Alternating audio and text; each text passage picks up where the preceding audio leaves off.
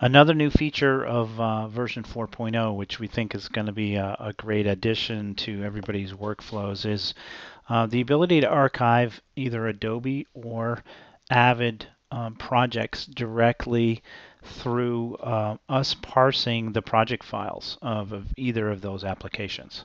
And so the way it works is you just go into the archive console and this is uh, going to be slightly different because it's going to be a ticketed archive and very similar to doing an AAF or XML or EDL uh, ticket-based archive. We're going to go and we're going to navigate for a um, an AVB file. And the thing is, you don't have to export or do anything with that. It just has to be, we just have to be pointed to where an AVB uh, project file resides. Um, the uh, the audio and video tracks and uh, all the associated media files do not have to reside in the same folder. So this is this is kind of interesting. Is that you're just going to point us to where the project file is. The project file will tell us all the media files that are associated with the with the um, project all the bins. It'll get broken down, and uh, and we'll be able to go and uh, find those and do the archive. So I'll uh, pick Avid first here. Uh, A AVB uh, project file is the the thing that we're looking for, and I'll just navigate on my uh, workstation here to find where I put that particular um, project file. Oops, wrong one. I want to go here, go to Avid, and I'll go to um, one of our samples that we received from a customer here.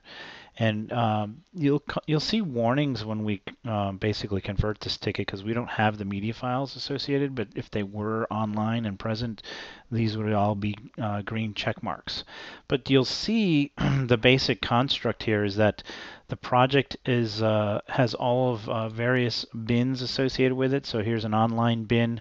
It's got 853 items in it. Um, a uh, the Final Cut bin for this particular project. There's a, a guide bin. There's a you know a uh, graphics bin.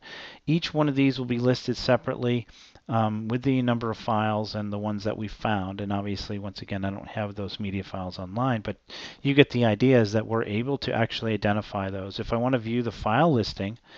Um, for this particular bin, which is the uh, Battle of Britain graphics bin, um, this is where it's telling me these are, these files reside, right? So that's why we can't find them because they're on like a local C drive or whatever it may be.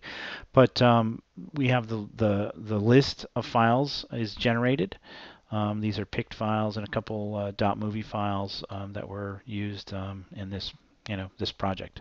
So same thing applies to all the all the bins. Um, one thing that we do as well, which is kind of cool, is we gather up all the actual physical project files. Um, that includes the bins, um, the XMLs, all the stuff that uh, is in the system, and we actually gather those up into one nice little listing here as well. And then those are archivable or, or backupable, however you want to call it.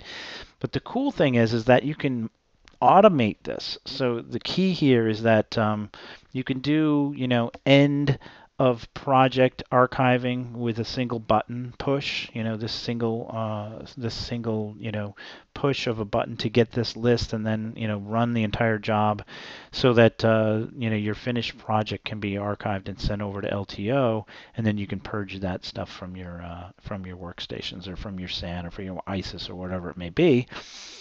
Or you can set this up to be automated. So you can do basically nightly backup um, snapshots of um, of your project and all associated media files and everything else, all elements that go along with that project, including the project files themselves. So you can actually get a nightly backup of all that as a project might be, you know, in progress.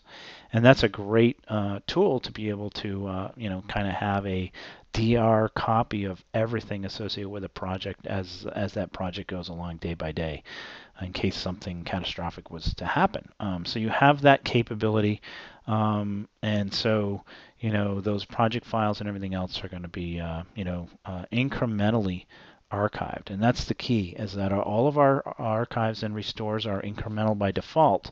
So when you set up an automated job to run every single night and it you know continually looks to these same uh, sources, as its uh, as its definition of what it's going to archive, we will go and look at those sources and see if there's any new files or, or uh, any change files uh, in that list, and we'll um, make sure that we only archive what's been new or changed.